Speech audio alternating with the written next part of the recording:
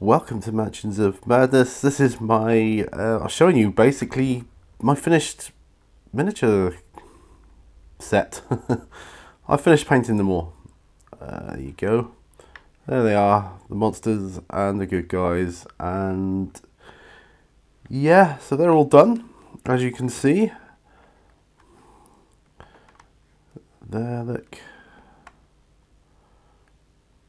And they're based on the bases that come with it. And I've had a chance to have a bit of a play um, through with this game. And um, I'm already thinking I'm going to rebase them. Not the player characters, because they're already on like a suitable basis. But the other ones are kind of ridiculous when you're trying to play them on the board. Because the bases are just too big. It's ridiculous. So what I'm going to do is I'm going to rebase into more suitable sized bases, but there they are. Uh, that is them. Let's see if uh, we can get a bit closer in. If I remove my camera from there, let's see if we can get it a bit closer. There we are. So these what are they called again? The um, Star Spawn, I think these big ones at the back. Ghosts, yeah, you got hunting horror. You got the rioters. I think they're quite funny uh, the way they are. I'll just put them on a bigger round base. Uh, well, sorry, a smaller round base. I was talking about bigger. I want smaller bases, not bigger bases.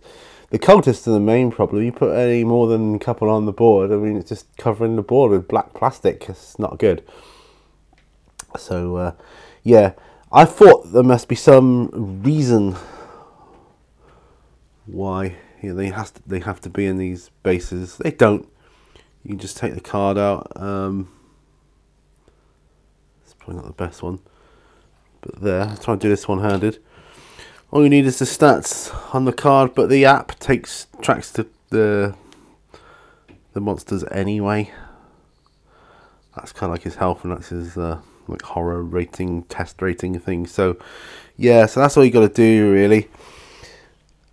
Uh, and the characters that's William Yorick, I know.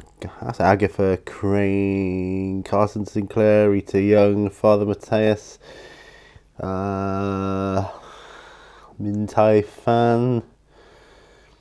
Oh, what's he called? Preston Fairmont, and I don't remember her name. Sorry, but yeah, there they are.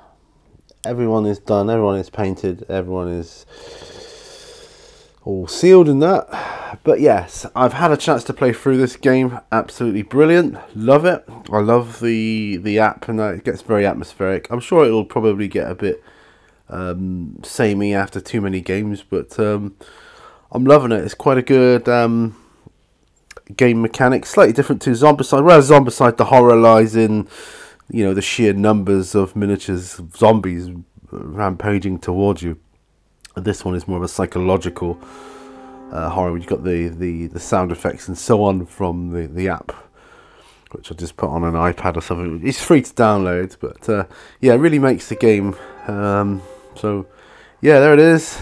My Mansions of Madness uh, second edition box set. I'm going to look out for the first edition because you can integrate that with this and I'll just go straight to normal bases for that one but uh, yeah I've got a few I've only got six clear bases here which um, you know might do for my my cultists and the uh, there you go my cultists there because they're, they're, quite a common um, adversary as it were so yeah, we'll probably do that. And I'll see what I can see. I, I got my um, basing box there, but I've only got six of these clear perspex places, which is a shame because they are absolutely brilliant for this. But um, not to worry, I will find a solution. There we are though, that's it. Mansions of Madness, second edition, all painted up. And, well, raring to go.